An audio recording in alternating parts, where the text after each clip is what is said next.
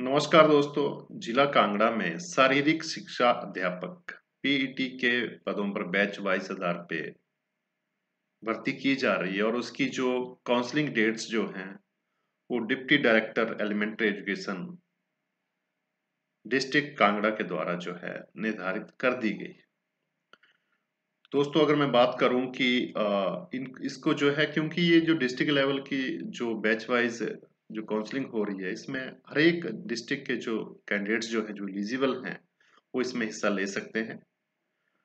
तो इसमें क्या है कि जो deputy director elementary education Kangra जो है, उनके द्वारा डिस्ट्रिक्ट वाइज जो है, इसमें तिथियाँ जो है, इसमें काउंसलिंग की तय की गई।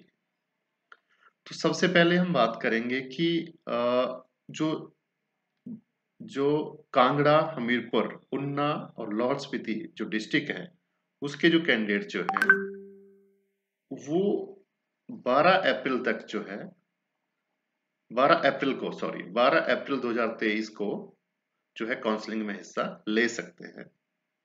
सेकंड जो है, मंडी, सोलन, बिलासपुर और किन्नौर डिस्ट्रिक्ट के जो कैंडिडेट जो हैं, वो 11 अप्रैल को काउंसलिंग में हिस्सा लेंगे।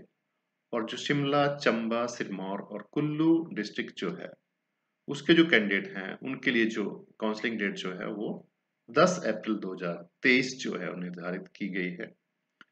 अब इसमें अगला जो क्वेश्चन आता है कि काउंसलिंग होगी कहाँ? तो काउंसलिंग का जो वेन्यू है, वो राजकीय नर्सरी मिडिल स्कूल धर्मशाला जो है, वहाँ पे निश्चित किया गया है, इसका स्थान जो है तो काउंसलिंग वहाँ पे होगी। याद कर लीजिएगा। याद रखिएगा इस चीज़ को कि राजकीय नर्सरी मिडिल स्कूल धर्मशाला। अब हम आते हैं कि जो टोटल कितनी इसमें वैकेंसीज भरी जाएँगी और उसका बैच कौन कौन सा रहेगा, वो हम पूरा जो है कैटेगरी वाइज आपसे डिस्कस करेंगे। तो जो जनरल कैटेगरी के जो कैंडिडेट्स जो होंगे, उसकी जो है 22 पोस्टें हैं। तो उसके लिए जो कैंडिडेट बुलाए गए हैं जिनका बैच जो है 2000 तक का होना चाहिए। कहने का मतलब है कि वो सारे सामान्य कैंडिडेट जो फ़िज़िकल एजुकेशन टीचर की जो आर एन पी रूल उसमें योग्यता रखते हैं और उनका जो बैच जो है जो उनकी व्यावसायिक परीक्षा हुई थी उसका जो वर्ष जो है अगर 2000 है तो वो इस, इसमें हिस्सा ले सकते हैं और इस बेसिस पे जो है कांगड़ा में 22 मतलब बाईस पोस्टें भरी जाएँगी। अगली जो कैटेगरी है जो आर्थिक रूप से कमज़ोर वर्ग है इकोनॉमिक बिकर सेक्शन जो है उसकी आठ पोस्टें हैं और उनके लिए बैच रहेगा 2001 अनुसूचित जाति की जो है टोटल 20 पोस्टें हैं तो इसमें जो है आपका जो बैच जो है, वो 2001 रहेगा। अभी हम आगे बात करते हैं अनुसूचित जनजाति की तो उसमें उसकी पाँच पोस्टें भरी जाएँगी और बैच रहेगा 2002 अन्य पिछड़ा वर्ग ओबीसी अदर बैकवर्ड क्लासेस की मैं बात करूँ तो उसके 14 जो है इसमें पद हैं 14 पद खाली हैं, जिसको भरा जाना है, और इसके लिए बैच रहेगा 2001 अनुसूचित जाति बीपीएल कैटेगरी से संबंध रखता हो तो उसकी छह पोस्टें भरी जाएँगी और उनके लिए बैच जो है निर्धारित किया गया है 2002 और अनुसूचित जनजाति बीपीएल की पाँच पोस्टें भरी जाएँगी और जो उनका बैच रहेगा वो 2003 रहेगा। अन्य पिछड़ा वर्ग बीपीएल की हम बात करें तो इसकी जो है आठ पोस्टें भरी जाएँगी और इसमें 2002 बैच तक के जो कैंडिडेट जो है वो हिस्सा ले सकते हैं। अनुसूचित जाति freedom fighter ward of freedom fighter तो उसके जो है एक पद भरा जाएगा और इसमें जो है 2022 तक के जो कैंडिडेट जो होंगे इसमें हिस्सा ले सकते हैं इस कैटेगरी के। इस तरह हम देख रहे हैं कि टोटल जो है हमारे पास ये जो काउंसलिंग होने जा रही है बैच वाइज तो इसके जो थ्रू जो है 89 जो है टोटल जो है कुल पद जो है इसमें भरे जाएँगे। अभी हम आगे बात करते हैं कि आपको, जब आप उसमें आते हो काउंसलिंग में आते हो तो आपको क्या क्या साथ लेके आना है?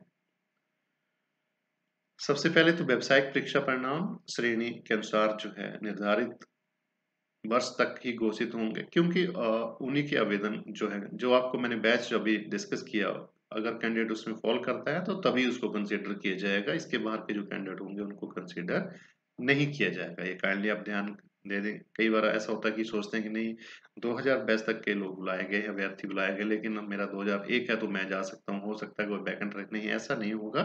तो जो कंसर्न जो बैच आपसे मैंने आप डिस्कस किया, वही जो है इसमें एक्सेप्टेड होंगे। इससे आप जो है इसको आप अपना देख लें कि आपका जो है उसमें फॉल कर रहा है या नहीं कर रहा है।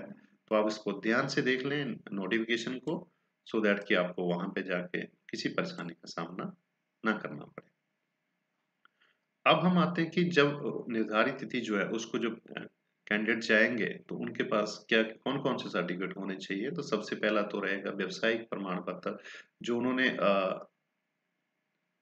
जो उनकी प्रोफेशनल क्वालिफिकेशन जो है एजुकेशनल क्वालिफिकेशन जो है related to physical education teachers के जो आर एल रूल हैं उसके अनुसार तो वो साथ लेके जाने हैं। हिमाचल प्रदेश के मूल निवासी होने का जो प्रमाण पत्र है वो लेके जाना है।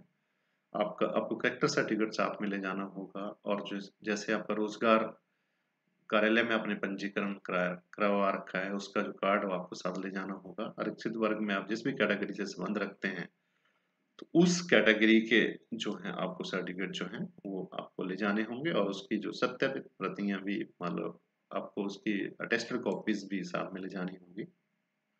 तो निर्धारित समय और जो आपको टाइम वेन्यू बता दिया गया उसमें आप हिस्सा ले सकते हो। जो बायोडाटा जो रहेगा, वो कांगड़ा की जो डिप्टी डायरेक्टर एलिमेंट्री एजुकेशन जो है, उसकी जो वेबसाइट है D D E E Kangra dot in पर उपलब्ध है तो वहाँ से आप उसको, जो बायोडाटा फॉर्म है, उसको आप साथ में ही भर के लेके आए और साथ में जो है आपके सर्टिफिकेट्स हैं, उसकी कॉपी भी आप साथ लेके आए।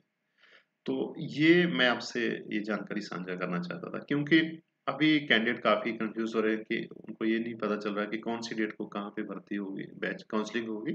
तो ये सारी सूचना जो है टाइम टू टाइम मैं आपसे साझा करता रहूँगा। आप देख पा रहे हो कि ये जो बैच वाइज जो रिक्रूटमेंट हो रही है फ़िज़िकल एजुकेशन टीचर्स की, इसमें आप किसी भी अगर आप उस बैच में आते हैं जो कंसर्न बैच जो डिक्लेयर होता है तो आप कहीं भी किसी भी डिस्ट्रिक्ट से संबंध रखते हो और किसी भी डिस्ट्रिक्ट में आप काउंसलिंग में हिस्सा ले सकते हो, लेकिन आपको करना क्या है कि उसकी जो निर्धारित तिथि होगी डिस्ट्रिक्ट वाइज जो डेट्स जो होंगी काउंसलिंग की, उसी तारीख को आप वहाँ पे जाके हिस्सा लेंगे।